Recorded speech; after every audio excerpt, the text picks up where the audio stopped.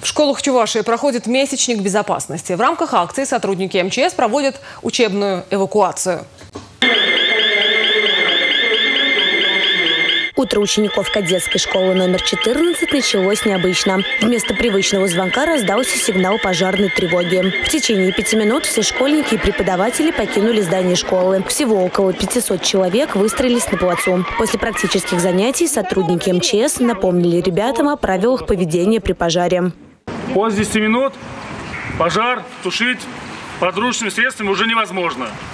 Надо брать, как говорится, документы, вещи, все самое ценное, убегать из помещений.